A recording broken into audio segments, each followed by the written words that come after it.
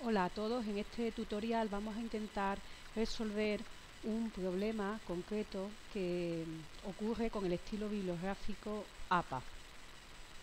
En este estilo lo que ocurre es que al cambiar en Mendeley al lenguaje de cita y bibliografía en español, no nos eh, cambia el signo aspersant con la I en español.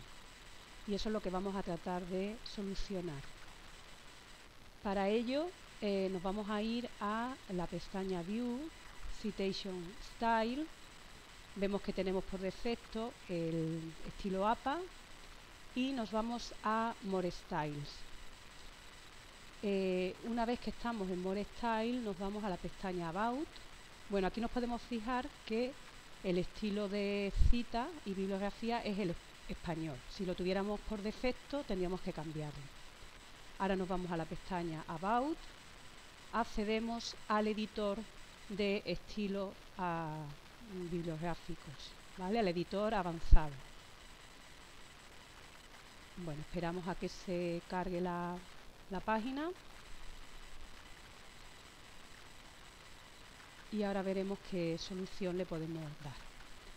Vale, una vez que estamos en el editor de citas avanzado, nos vamos a editor visual. Un poquito lento.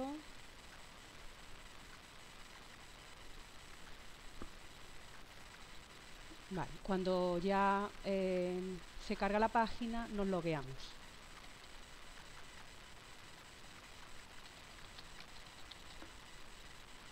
Autorizamos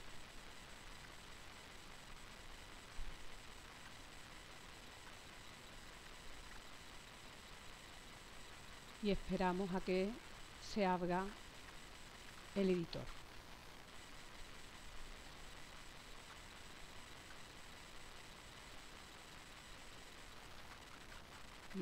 Bueno, pues ya como vemos estamos logueados porque aparece aquí nuestro nombre de usuario en, en Mendeley. Vale, este le vamos a cerrar esta ventana y lo que vamos a hacer es eh, fijarnos en lo siguiente.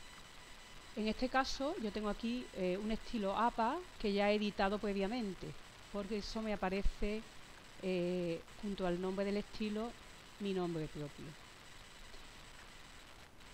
Aquí, si nos damos cuenta, yo ya he solucionado el problema, porque en lugar de aparecerme el símbolo aspersam me aparece ANT. Lo único que tenemos que hacer es seleccionar la parte de la cita o de la referencia justo aquí. Y cuando yo selecciono el nombre dentro de la citación yo puedo cambiar aquí y decir que sea un texto o un símbolo ¿Veis? Si cambio a símbolo, automáticamente me pone el aspersant. Lo que tengo que hacer es cambiarlo y decirle en mi estilo que no quiero el símbolo, que quiero un texto y automáticamente me pondrá la palabra and. Aquí es donde está el problema, es decir, ¿por qué Mendeley no traduce? Porque seguramente lo que no traduce son símbolos, pero sí texto. Eh, bueno, una vez que hemos hecho esto, si también luego el problema nos surge en la bibliografía, lo cambiaríamos igual. ¿Vale? Ahora lo que tenemos que hacer, una vez que hemos editado el estilo, lo guardamos. Save Style. ¿Vale? Y ahora ya automáticamente, ya en mi versión eh, escritorio, aparece el, estilo, el nuevo estilo que hemos creado con ese pequeño cambio.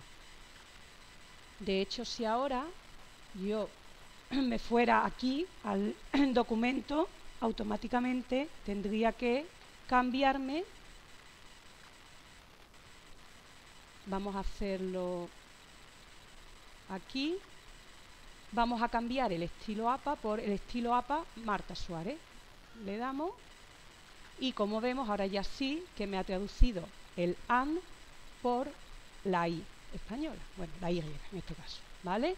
Bueno, pues este tutorial que acabamos de realizar se lo vamos a dedicar al profesor que ha planteado esta consulta, que es un profesor de la Universidad de Las Palmas de Gran Canaria y desde eh, aquí, el CRAI Antonio Ulloa, le enviamos un saludo. Hasta el próximo tutorial.